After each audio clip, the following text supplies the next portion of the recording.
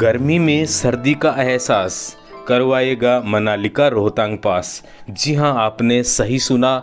इस समय मनाली के अंदर रोहतांग पास जाने वाले हर टूरिस्ट का यही विचार है और वो सत्य प्रतीत होता है, क्योंकि जिन्होंने फ्रीज के अलावा बर्फ़ पहाड़ों पर नहीं देखी है तो उनके लिए तो कौतूहल है और जो गर्मी से परेशान है, उनके लिए सर्दी का एहसास रोहतांग पास ही हो सकता है और नज़ारे ऐसे कि दिल खुश हो जाएगा गार्डन गार्डन हो जाएगा। ऐसा लग रहा है कि हम जन्नत के अंदर विचरण कर रहे हैं और अलौकिक दर से पा रहे हैं। इस वीडियो में आपको रोहतांग पास जाने का टाइमिंग क्या रहेगा और साथ में परमिट के लिए मारामारी चल रही है। तो उसकी क्या सिचुएशन है? और साथ में ग्रीन टैक्स जो मनाली एंट्री के नाम से जाना जाता है, और रोहतांग पास परमिट इसके अलावा बाइक अलाउड है या नहीं?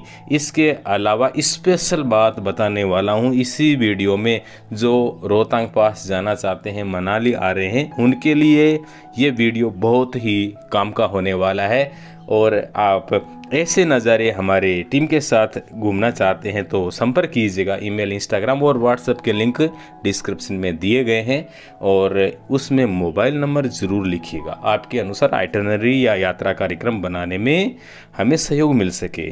तो यह नज़ारे और भी सुंदर होने वाले हैं, जैसा कि आपने वीडियो के एंट्रो में देखा।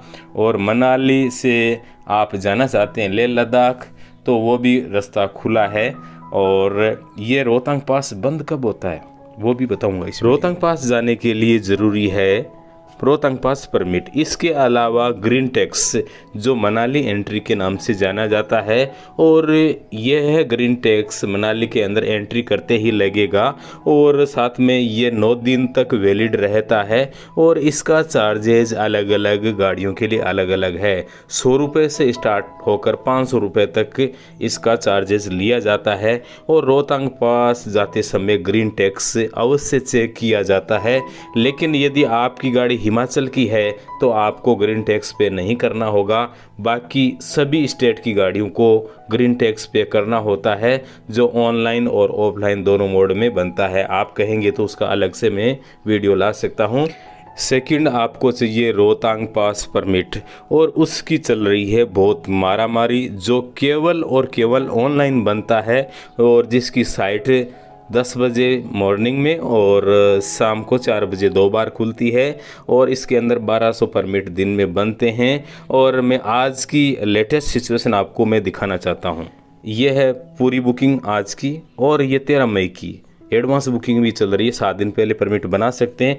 पूरी जानकारी एक मैंने सेपरेट वीडियो बनाकर आपके लिए प्रस्तुत की है। उस वीडियो का परमिट आप रोहतांग पास कैसे निकालें तो उसकी जानकारी के लिए मैं उस वीडियो को डिस्क्रिप्शन में और आई बटन पर लगा देता हूँ, उसको देख सकते हैं। और जो ये वीडियो आपके स्क्रीन पर दिखाई दे रही है, वो लेटेस्ट आज की ही है। सबसे बड़ी बात कि ये आज की ही वीडियो है।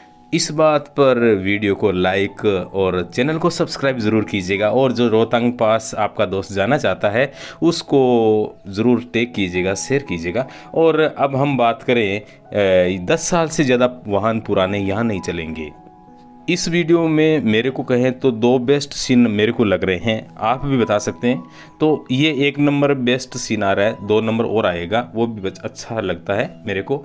तो ये है मेरे लिए, मैं यहाँ से गुजरता हूँ तो मेरे को बहुत अच्छा लगता है।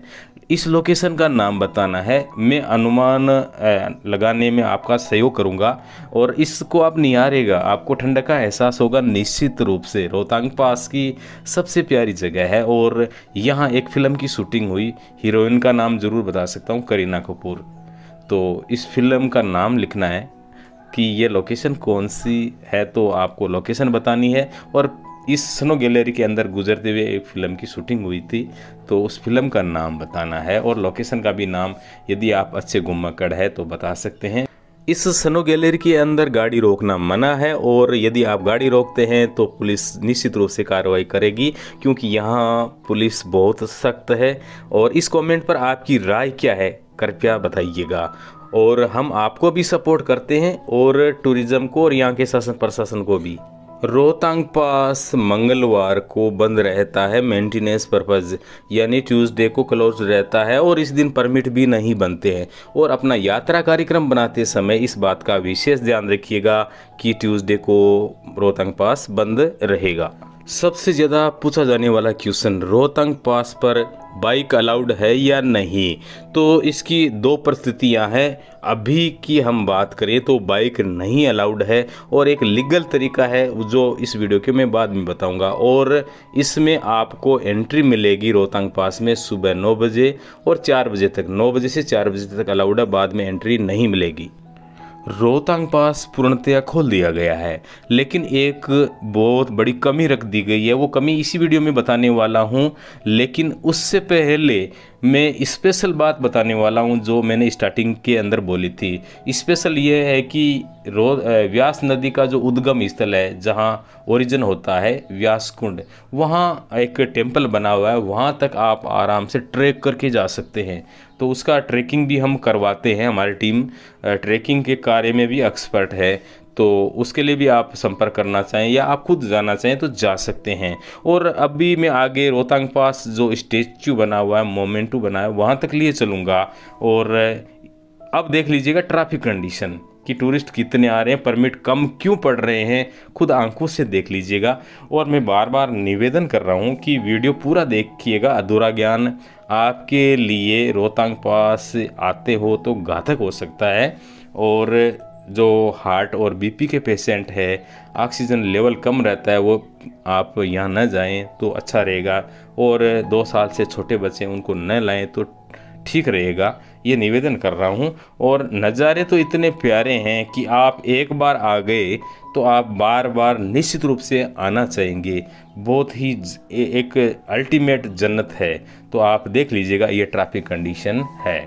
और साथ में अब हम जो कमी रख दी गई है, वो बताना चाहूँगा। ये जो रोहतांग पास, ये देख लीजिए, रोहतांग पास टॉप और यहाँ स्नो स्कूटर भी चल रहे हैं और ये लेटेस्ट नज़ारा है रोहतांग पास का। हमारी टीम की प्रस्तुति के लिए आप लाइक ज़रूर कीजिएगा। जय हिंद ज़रूर लिखिएगा बीआरओ के लिए। जिन्होंने इसको कड़ी मेहनत से खोला है। और अब हम आपको बताएँगे कि कमी क्या रही, कमी ये रख दी कि आपको टॉप पर जाकर वापस ही आना पड़ेगा। यानी आप अटल टनल, कोक्सर, ग्राम्फू होते हुए वापस अटल टनल नहीं निकल पाएँगे, ये कमी रख दी गई है। वीडियो अच्छा लगा तो शेयर, सब्सक्राइब ज़रूर कीजिएगा। जय हिंद।